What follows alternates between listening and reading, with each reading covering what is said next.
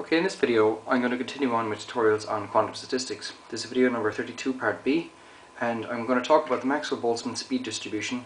Specifically I'm going to show you how to get the average scalar speed.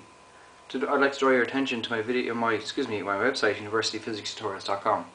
So the previous video to this was number 32 where I derived the scalar speed distribution for Maxwell-Boltzmann classical particles.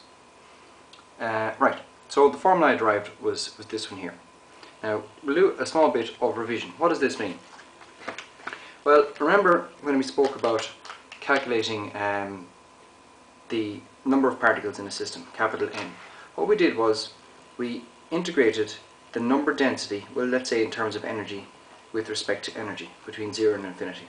And we got the total number of particles.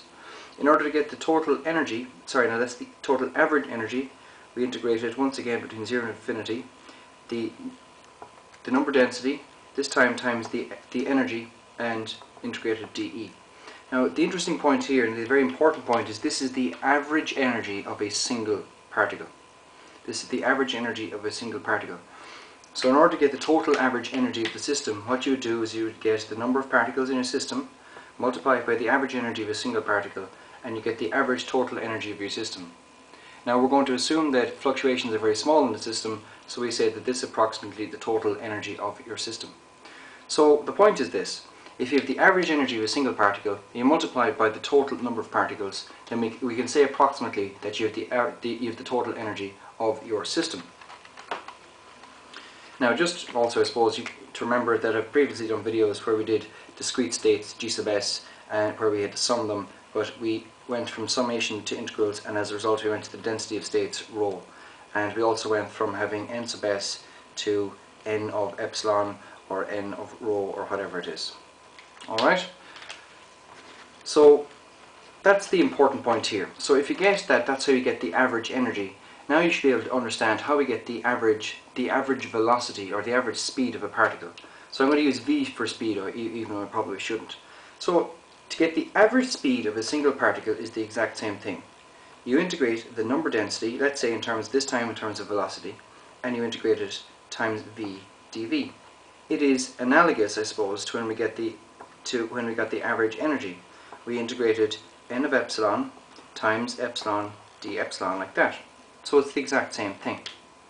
Now we also we already have the number density uh, in terms of scalar speed. So we just multiply again by another factor of v and integrate away.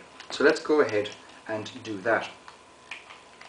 That means that v bar, the average energy of a single particle.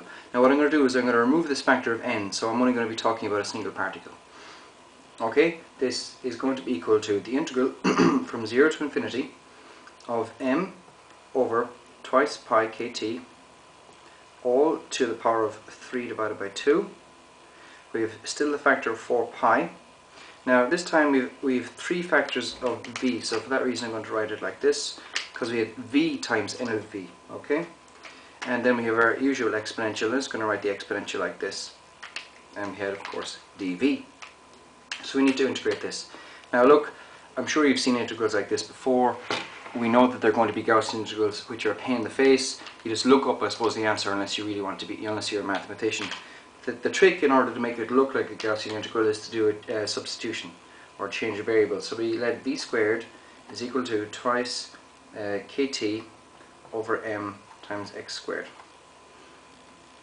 Okay, so that means that dv, okay, we know that of course is dv del v del x dx. We know that, but so let's just write down the answers. I'm not going to insult your intelligence. If you're watching this video, you can do this pretty straightforward. So dv is equal to the square root of twice kt divided by m and then we have the factor of dx out front. Okay, so what I'm going to do is plug all of that into my integral and let's see what we get. So we get the average energy for a single particle is equal to 4 pi outside of uh, square root m over 2 pi kt Alright, and this is cubed. Just need to be careful with your algebra, it's not particularly difficult. Okay, then we have the square root of 2k kt over m, which also, believe it or not, has this cubic factor or this cubed factor here. We have the square root of 2kt over m, and finally we have the integral. Now um, we'll say the integral itself. So the integral is going to be equal to x cubed e to the minus x squared dx. Alright, now I'm telling you you can look this up. I can't actually remember which Gaussian integral it is, but I know that the answer is a half.